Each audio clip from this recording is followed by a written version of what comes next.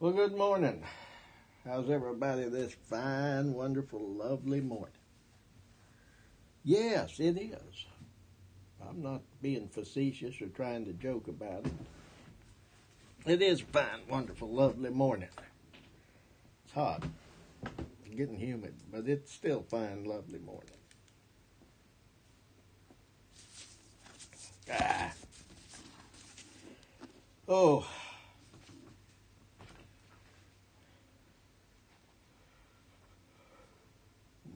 When we get off here, I'm going to do a little yard work.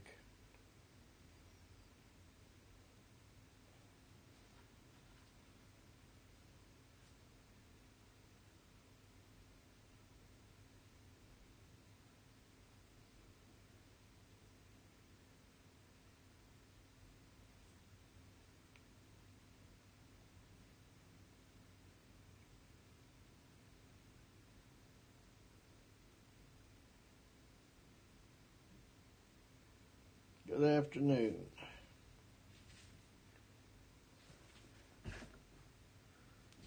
Oh.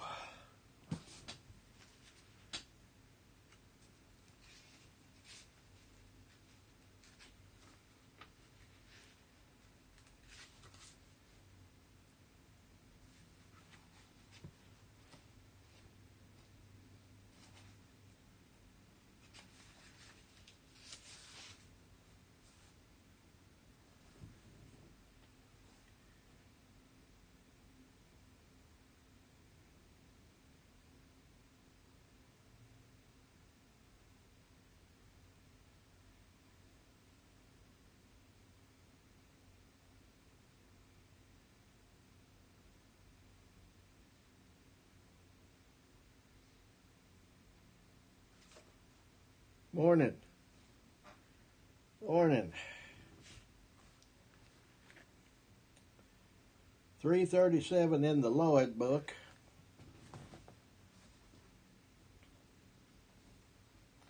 Ten eighty five in BB.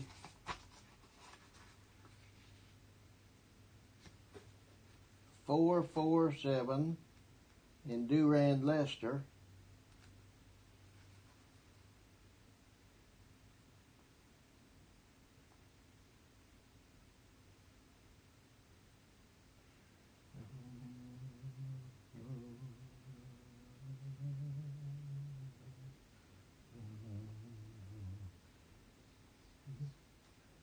Do, so, so, do,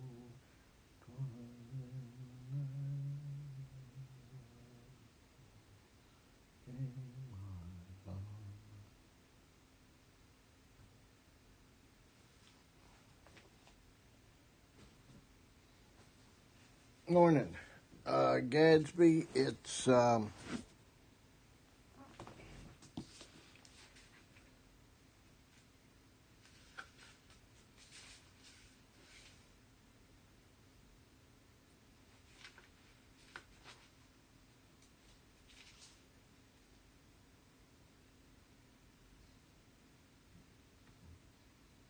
oh, it's a Newton and it's not in Gadsby.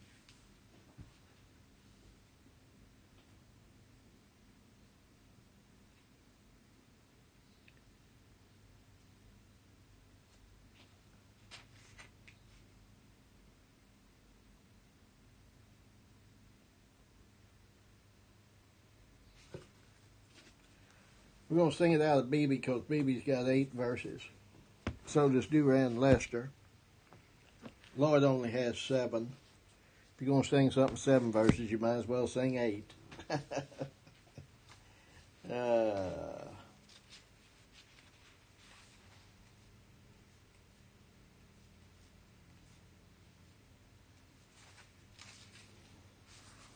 Sweet was the time when I first felt the Savior's pardoning blood applied to cleanse my soul from guilt and bring me home to God.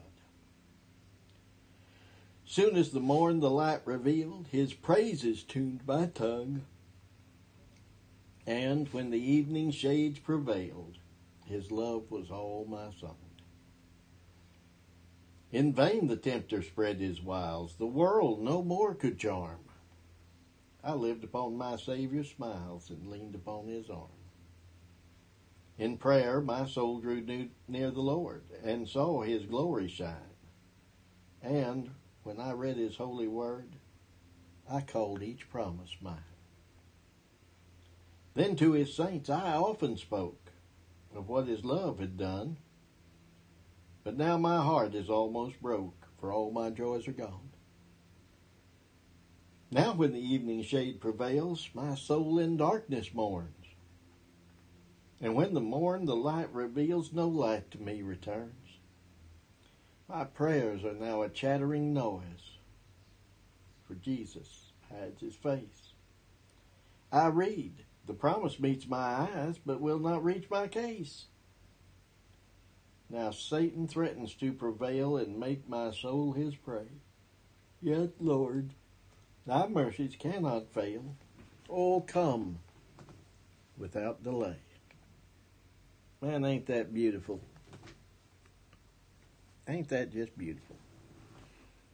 Sweet was the time when I first felt the Savior's pardoning blood applied to cleanse my soul from guilt and bring me home to God. Soon as the morn the light revealed, His praises tuned my tongue. And when the evening shades prevailed. His love was all my song. In vain the tempter spread his wiles, the world no more could charm.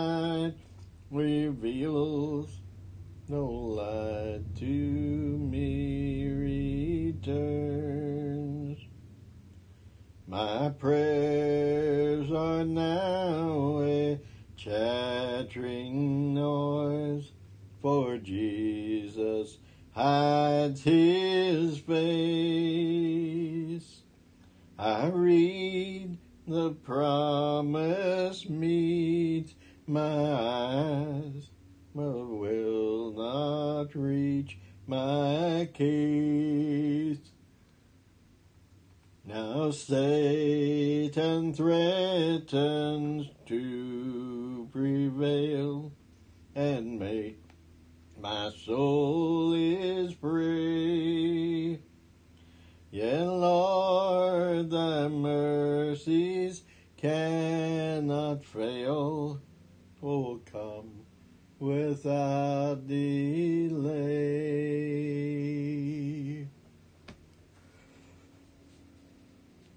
Isn't that a beautiful thought?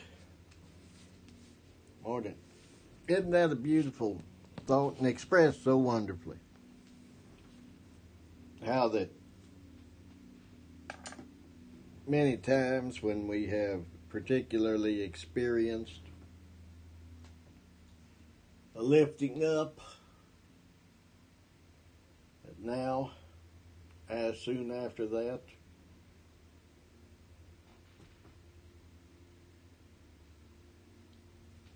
excuse me, we have a downturn. We go from a time which we thought we could never doubt again to a time where we think we can never truly believe again.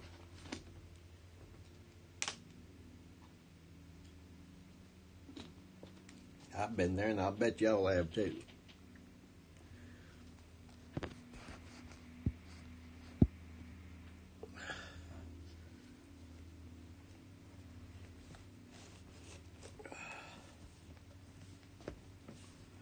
For those of you that have asked about my dad's condition, well, they determined he didn't really have an infection. It was a false positive. The doctor was asked him series of questions and said he answered them all right. So because of that, he's put him in a, a rehab facility for a week to ten days to try and get some strength back in his legs so that my mother will have an easier time with him, getting him around. Maybe he won't fall so much. He's not falling a lot, but even though he doesn't weigh anything hardly anymore, uh, mom doesn't either, and she has a hard time getting him up because he's very little help to her as far as trying to raise himself. Although he did do it once, he did raise himself up once. So, you know, a lot of times, if a person can't do, can't get the help they think they ought to have, they'll they'll try harder. Kind of like an Arminian religionist, huh? Thinks he's got the will and the power to do something, so he'll just try to believe harder.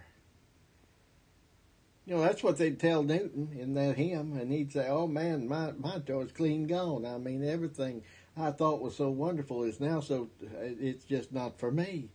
I can't feel it. It's not there." They say, "Well, you just need to try harder. Just need to work more.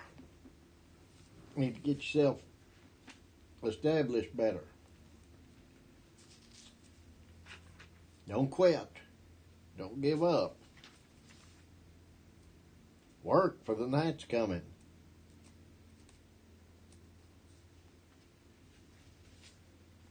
I apologize for being a little late this morning. Two things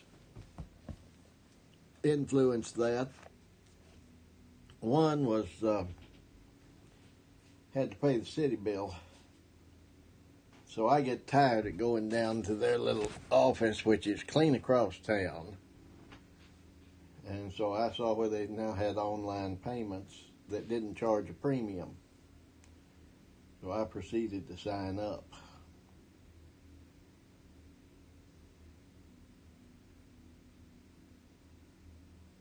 And pay my bill since it's due today. But then, as I was getting ready to turn on the Facebook feed, I noticed a couple of things.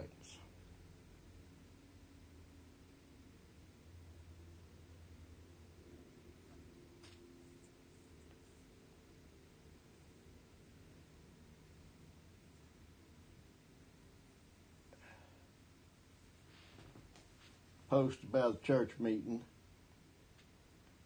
that the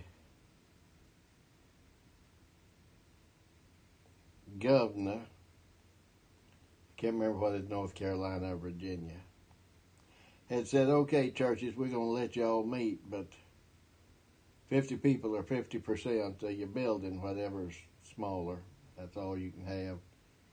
Mass social distancing and all that stuff. And I had to respond. I said, I don't want to make anybody mad. and it's isn't to offend anyone.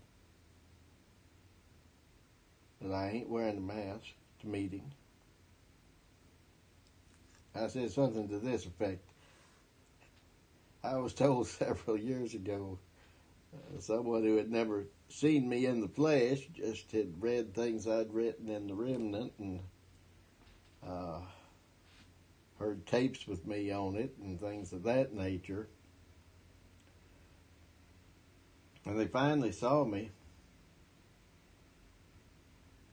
of course, I dressed like I normally did. I had on a western shirt. I think I did have on a pair of, of uh, slacks, khakis, or I think I had on a pair of khaki slacks. Big old belt with big old buckle and a pair of cowboy boots, of course. They took one look at me and they said I thought it was Jesse James. And I said uh, in this post, I said I've been called Jesse James, but it wasn't because I wore a mask. And I don't see no use of robbing of uh, wearing one now. And I said I can't hug my brother's neck from six feet away. So any of y'all at a meeting where I'm at and don't want to be hugged, just tell me, and I won't. I won't be offended, but it's time we stop obeying Caesar when he's trying to get us to render things to him that aren't his to command. First Amendment of our Constitution says Congress shall make no law for the establishment of a religion or prohibiting the free exercise thereof. Every one of them governors that shut down churches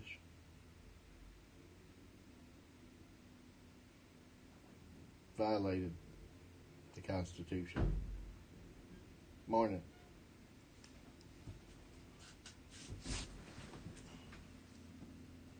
Excuse me.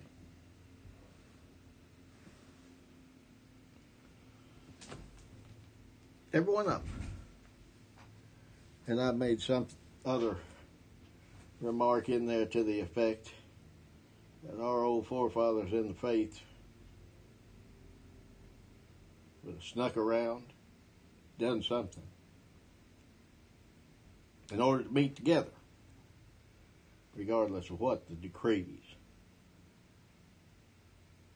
of the secular state was.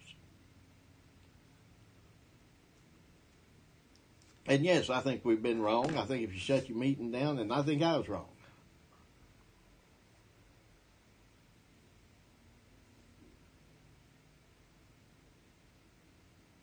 The only excuse I've got is we're all so far away.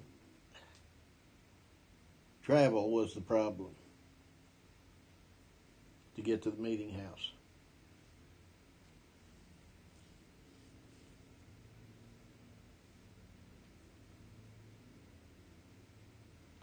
But Lord willing, we're going to meet second Sunday.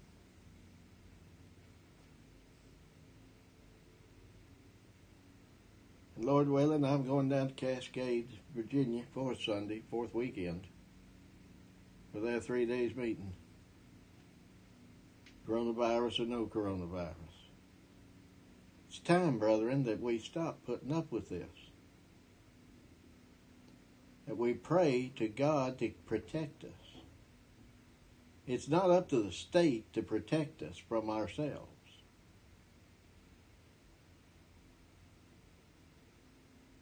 I know I can't see your hands. How many of you supported seatbelt laws when they come up?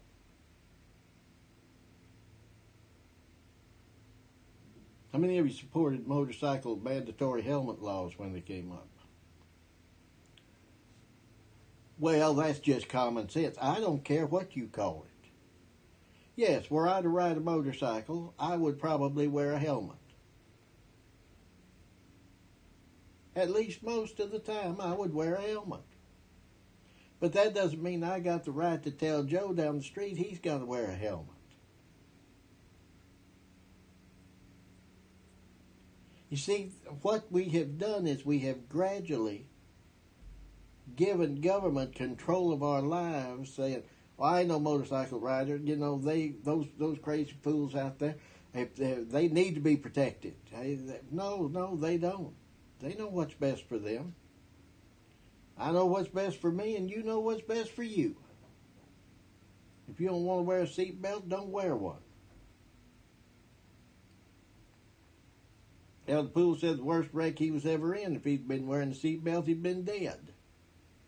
As it was, it threw him out of the car on the first roll. Back in the days when there wasn't no air conditioning, so the windows were down. Y'all know how skinny he was. I think he was even skinnier then. But anyway, is that enough rant on this? We've given them control.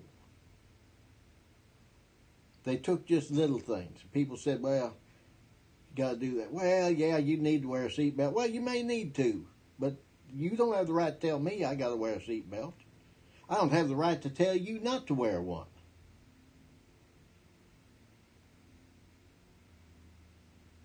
If you want one, wear it. I grew up in the car without a car seat. I wouldn't, according to my parents, I wouldn't stay in the car seat when I was little. I wanted to look out that window. I wanted to see what was going on. I was curious. I was, well, yeah, I was definitely a curious child, but I mean, I had a curiosity about me. and I, that made it just fine. And how many times have I stood up in the back end of a pickup truck going down the road? Or not going down the road, going over the fields? How many times have I sit there?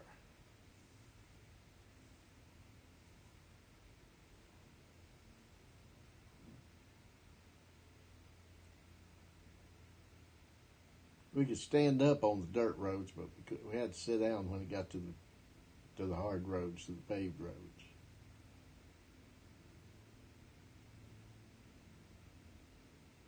Nowadays, you got to have a, a eight year old child in a car seat. Give me a break.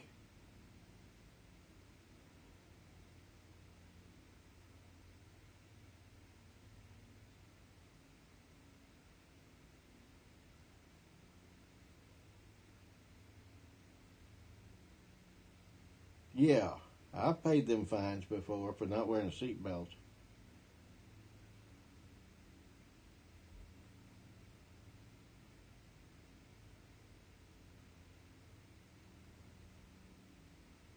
Worst one was a city of Salisbury police officer. Stopped me for not wearing a seatbelt. I had my three dogs in there, maybe four, no, just three. My three dogs in the car with me, fussing and messing with them, and I forgot to put it on and was trying to when he pulled me over. He gave me a ticket anyway. Oh, that's hot. I want to call him everything but a red-headed woman.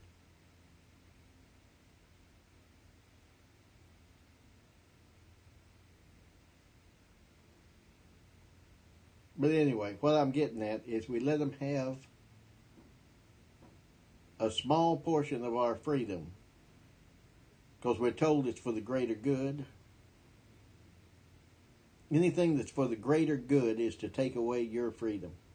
Remember that. I don't care what it is.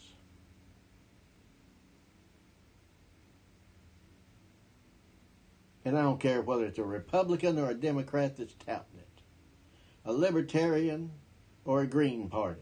Doesn't matter.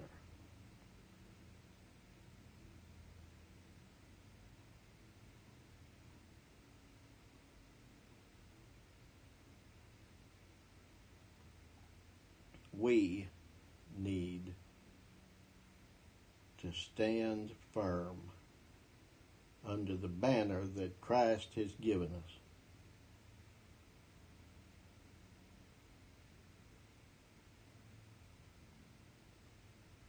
That banner that is love under which He has placed us.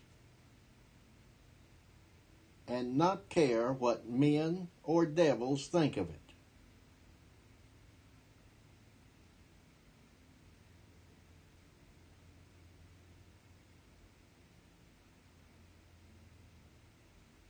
I told the preacher we hadn't been meeting. And I asked him, I said, How about y'all? Have- y'all been meeting? He just chuckled and said, Yeah, we sure have. Didn't pay any attention to any lockdowns. They met. They probably didn't practice social distancing either. But I didn't push that issue.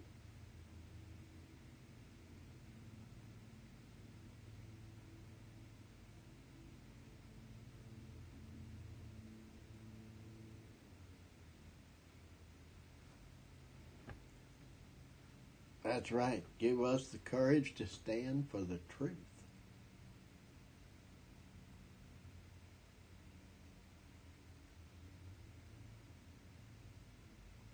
Y'all may think I'm just looking for an excuse to cuss, but no.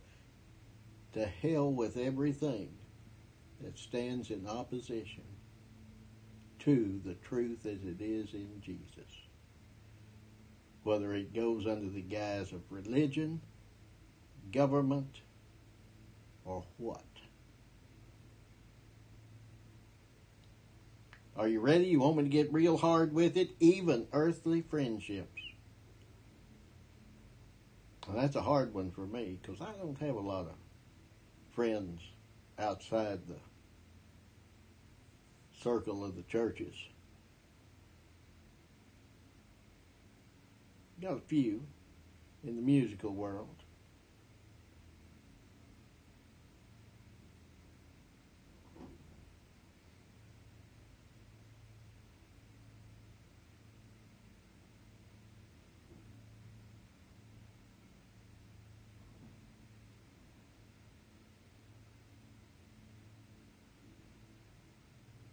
It's kind of what Peter said, wasn't it, when he told them, Your money perish with you.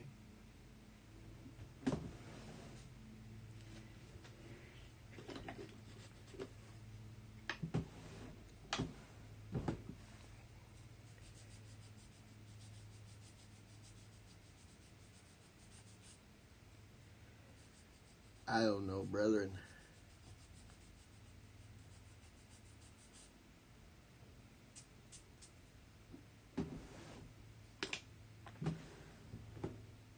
I have text. Romans 16, 17.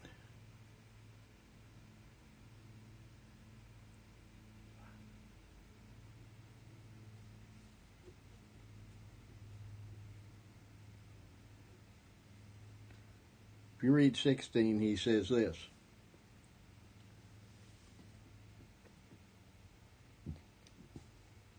Greet one another with the holy kiss, with a holy kiss. The assemblies of Christ greet you. But I appeal to you, brothers. I appeal to you, brothers. Watch the ones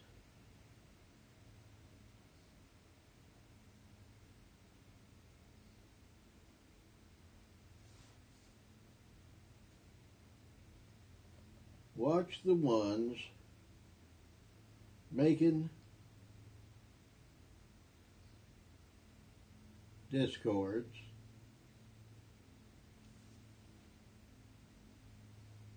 And the obstacles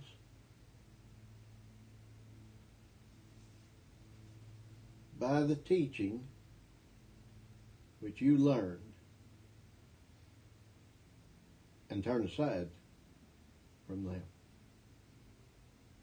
I read that from the Greek New Testament. In our common version, it's a little, little plainer. I wanted you to see that our common version actually gives pretty readable translation of that. I beseech you, brethren, I appeal to you.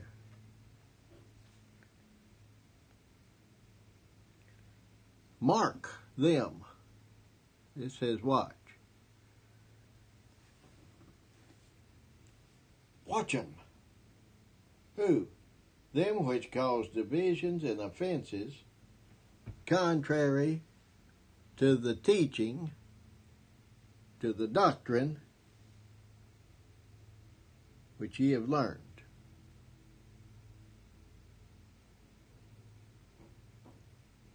And turn away from them, turn aside from them, avoid them.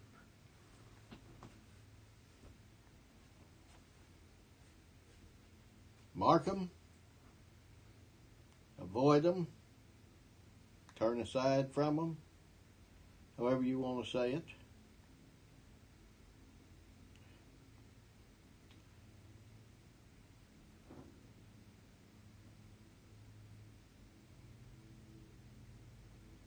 What got me is not that part.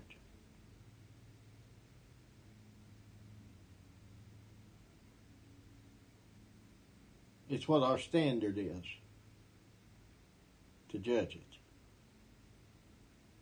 Contrary to the doctrine or teaching which you learned.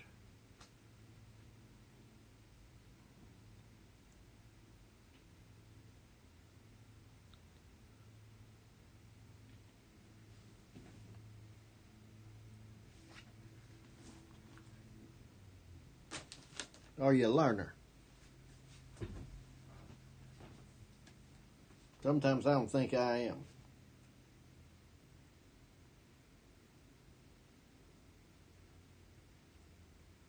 There's a song in the Sacred Harp book I am a little scholar, lately gone to school.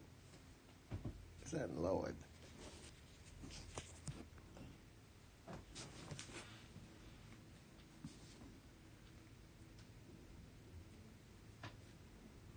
I didn't think it was. I don't believe it's in Beebe either.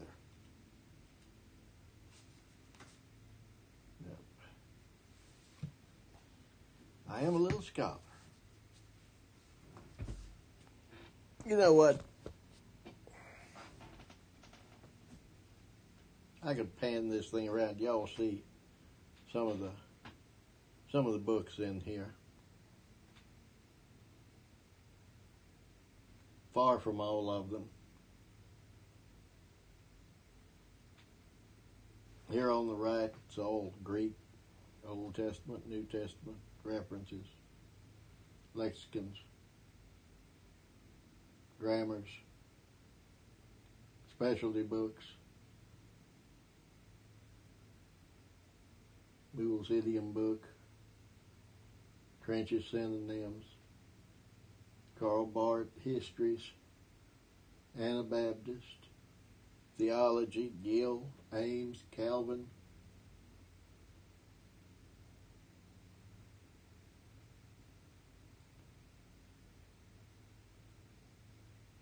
That's not the learning I'm talking about.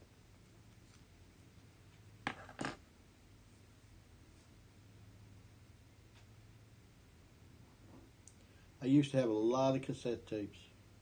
Elder Poole, others.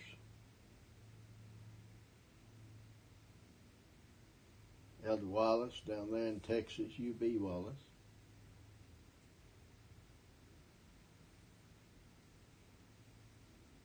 Elder Morris.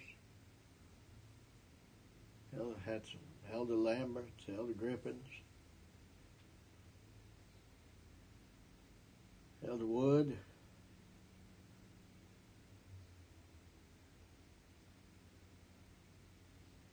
That's not the learning I'm talking about.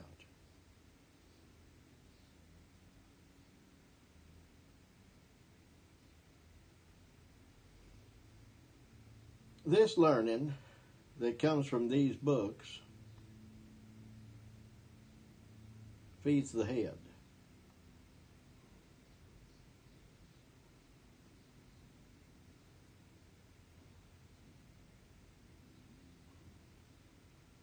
Many times, the learning that we get from listening to sermons, having what? Scripture discussions and things like that, many times that just feeds the head.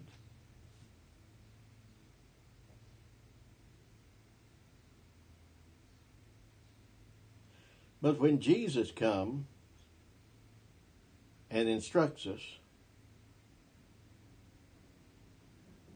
then our heart is filled with truth. Y'all believe that? I bet you do. Think with me for just a moment back in the Old Testament. In Deuteronomy, when Moses is talking to the children of Israel there, and he says what? He found Jacob where? In the waste howling wilderness in a desert land. A waste howling wilderness and a desert land. You know, that's pretty poetic language. The hymn writer talked about it. Dark and thorny is the desert through which pilgrims make their way. It's not a pleasant place to be in the wilderness. The desert may be beautiful to some of us. Then, yes, I think the desert's a beautiful place. I'd love to go back to Death Valley. Because I thought it was beautiful. I could live at Scotty's Castle, absolutely.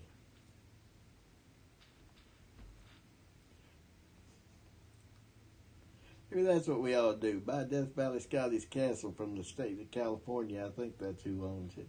Buy Scotty's Castle and all the land and outbuildings that goes with it. We'll set us up our little compound there. Well, ain't I stupid talking like that? But that'd be a great place, in my opinion, out in the desert. But that's where old Jacob was wandering around, wasn't it? He said he found him. Jacob didn't find him, he found Jacob. And he found him because he's looking for him. And he wasn't looking for him because he didn't know where it was. He was looking for him because he was a sheep.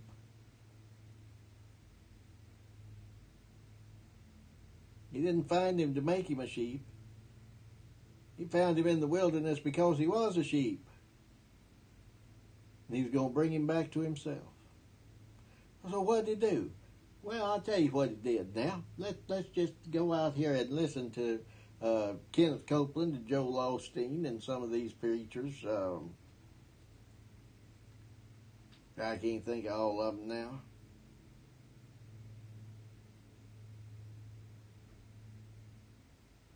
Why, yes.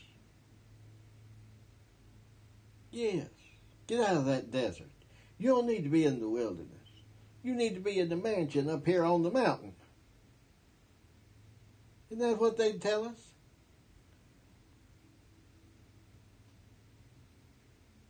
Y'all send me ten thousand dollars and the Lord would bless you with a hundred thousand dollar house.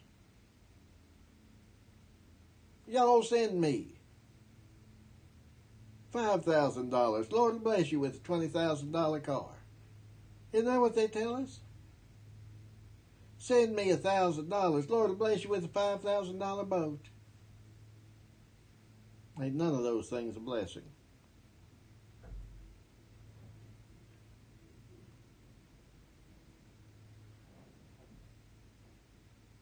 They all can be a blessing, but they certainly don't have to be, do they?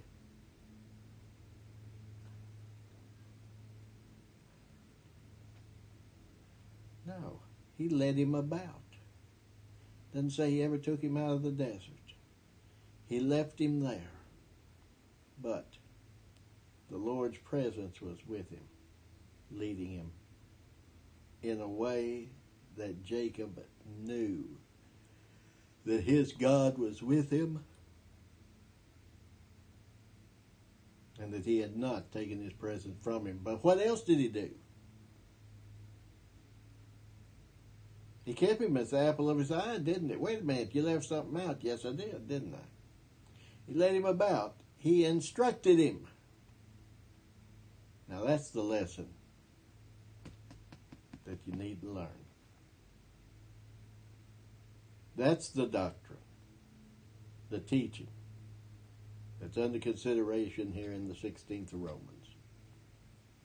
Not from men, but the teaching that comes directly from God. It may be through the Word, it may be through the um, listening, it may be through reading, or it may be God just putting it on you.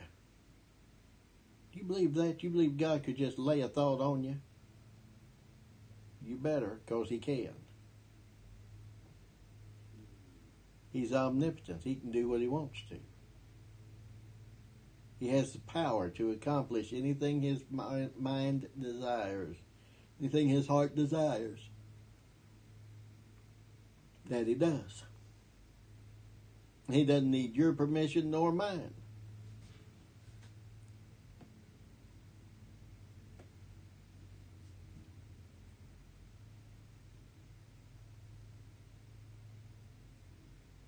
Doesn't.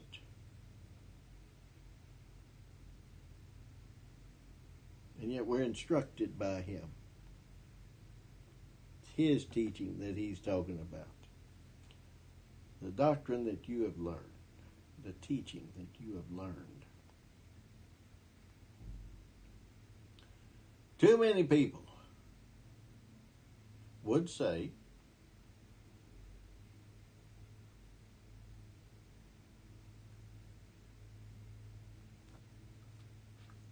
Mark them that cause offenses,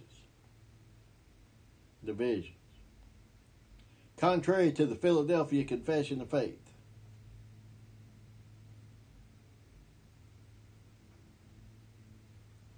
Contrary to the Second London Confession.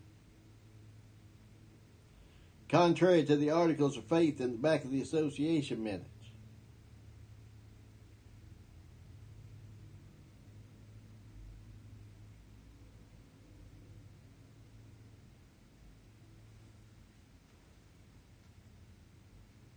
And so they make somebody an offender for a word sometimes.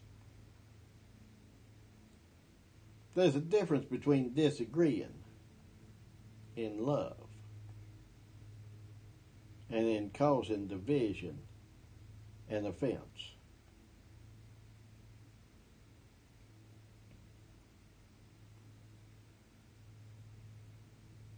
I disagree with my brother on some things. I ain't going to tell you what they are. I'm not. If it comes up in conversation between us, I'll we'll talk about it then. I don't even like to dwell on things we disagree on. Somebody might disagree with my political stand I just took this morning, which isn't really a political stand, I don't believe. It's a biblical stand. But somebody might disagree with that. I don't know. But if you do disagree with me in love,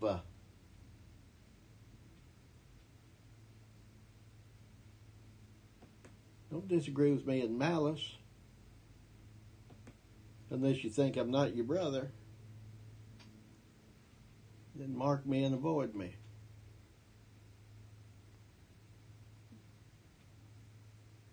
Then mark me and turn aside from me. Yes, you can do that.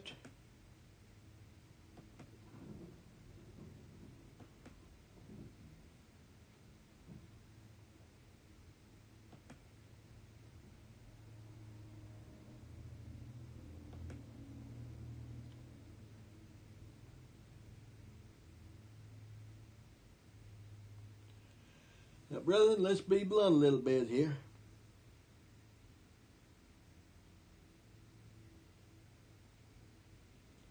I'm not one of those people that thinks everybody in the world to like me. In fact, just the opposite. I know a lot of people probably will not like me. And that's okay. Somebody asked me one time, can you work with people you don't like? I said, I do it every day. I don't have to like you to get along with you.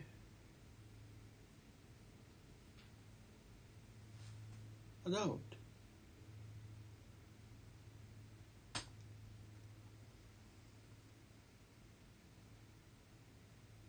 I love my brother. And most of the time I like them. But even they can do some things sometimes that make me just so mad.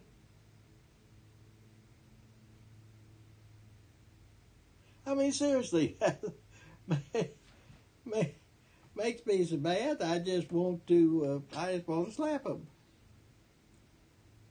But I love them, and I ain't gonna stop calling them brother or sister.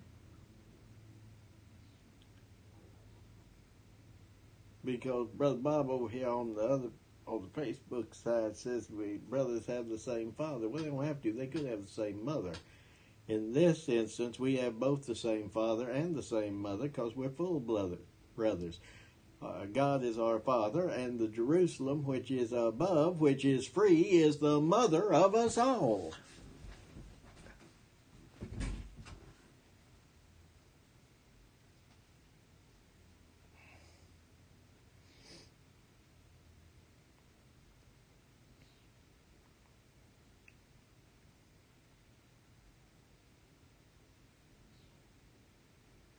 That makes us brothers and sisters. Well, I'm honored to have you as a brother. I'm honored to have all of you as brothers and sisters. I am. Knowing I'm not worthy. Knowing that in me, that is in my flesh, dwelleth no good thing.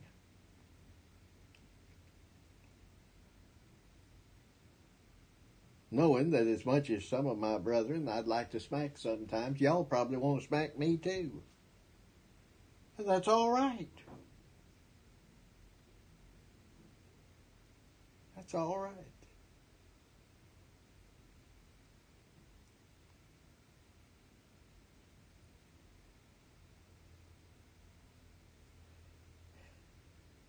Sister Audrey Davis looked at me one time and said, You know, Sometimes I, I just want to pinch Jim Poole's head off. And then she said Elder Poole gets in the stand and it's just wonderful. She was able to differentiate between the flesh and the spirit. She saw the difference, didn't she? She knew that after the flesh, Elder Poole was just a man like the rest of us. Right? So am I. So's every other ordained minister.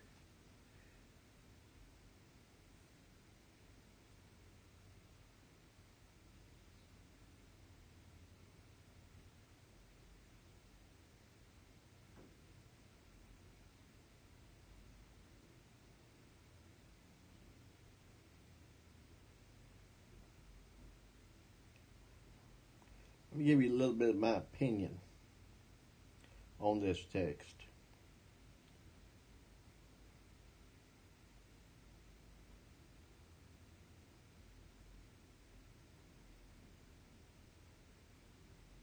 When you hear something from one you consider a brother, me or anyone else now, seems like it's contrary to the doctrine that you have learned Learn from God, not from men. What do you do?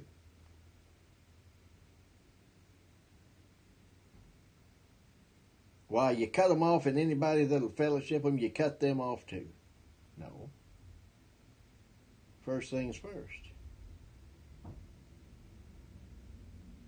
Go to that brother. And say, Now, brother, I may have misunderstood you, but Here's what I understood you to say. Is that what you meant? If it is, let's talk about it. And I guarantee you, if the person to whom you're speaking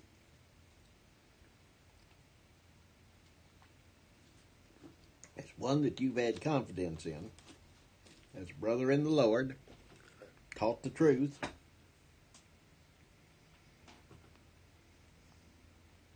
he'll sit down and they'll talk with you and you'll come to an understanding, even if it's to agree peaceably to disagree, if it's not something major like denying predestination or saying that election is based on what God saw in the beginning. After Adam sinned, he looked ahead and had to choose him some people. Baloney. Then, if it's not got to do with uh, God giving man free will, if it's not got to do with God going back to the natural after having spiritual, contrary to the word that says first comes the natural, then the spiritual.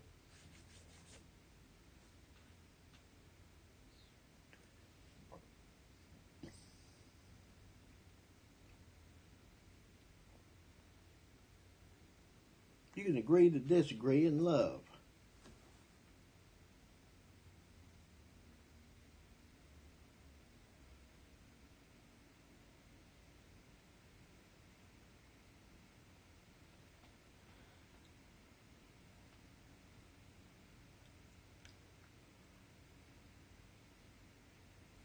But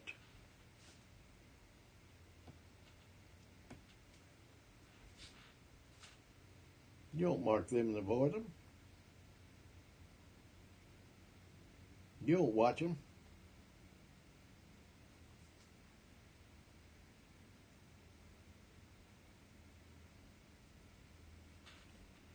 You understand that there's room for some differences.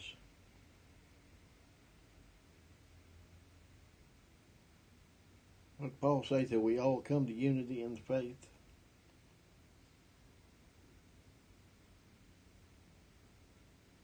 I'm going to say this. Y'all may think it's wrong, but I'm going to say it anyway. As long as we got the flesh with us,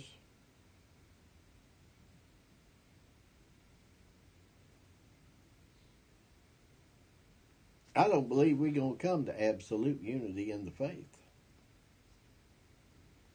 Because the mind of Christ knows absolutely the truth, knows the faith from beginning to end, knows the doctrine from start to finish, cover to cover.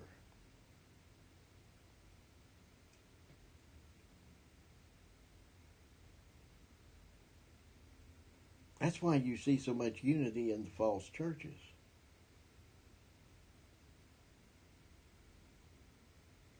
Huh? Look at the Episcopals. At the Methodists. Well, you can be anything and be an Episcopal or Methodist. You don't have to believe anything. They'll take you.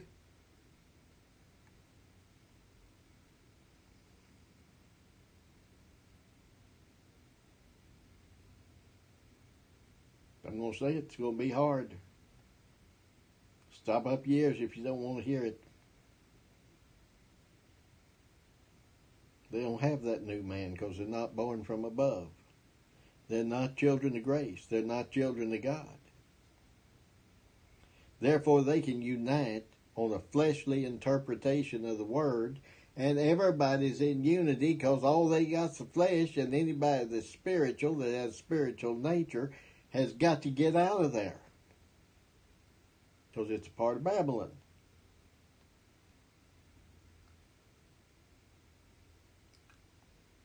I've said it at least a couple of times. I'm going to say it again. Everything outside of the Church of Jesus Christ is Babylon.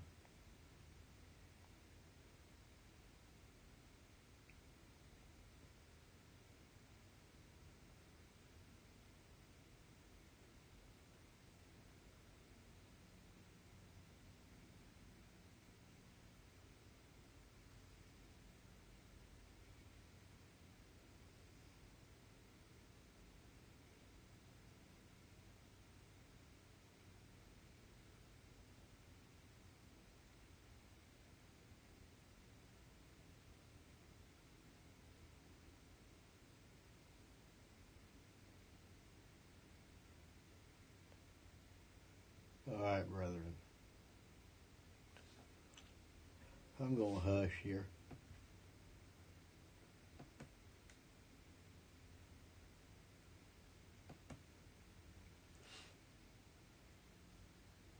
Were I in a pulpit, I would say I'm going to sit down, but I'm already seated. So I can't do that.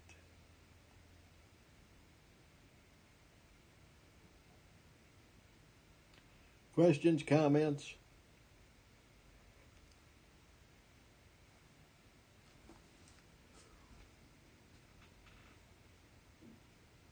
Oh, one of the things I meant to say at the beginning, when I was talking about why I was late. Then I saw a post under there uh, from someone who, man, I'll tell you what, talked to a few times before I come to West Virginia, once or twice afterwards, and, and then clean out of the blue, after at least five to seven years, I get a phone call from him last year. And I'm pretty sure it's the same person. I want him to know I kept his phone number, and I think I'm going to call him tomorrow or tonight.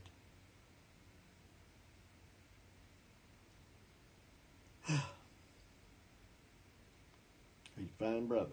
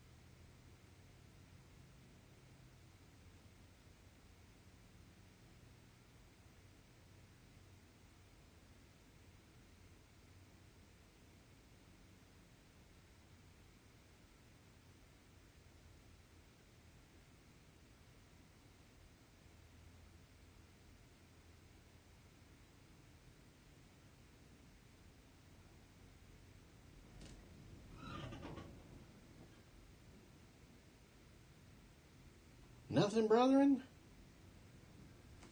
Goodness. All right. Let's bow together.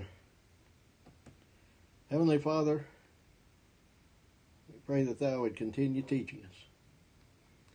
Thou would give us what's necessary to know, to love Thee more, to rejoice in Thy full and free salvation.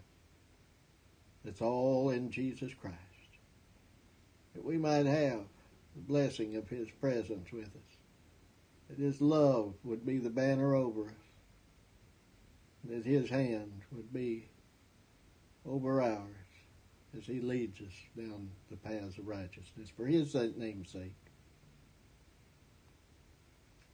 not for our glory. Let's never do anything to be seen of men.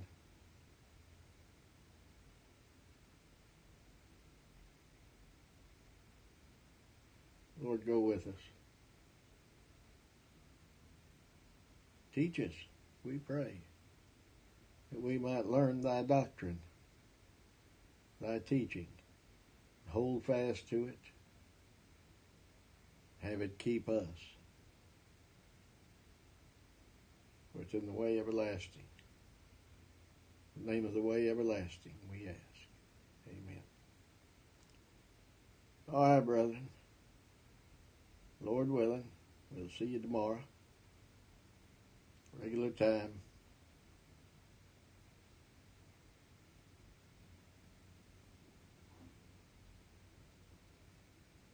I thank you for your comments. I thank you for your kind attention.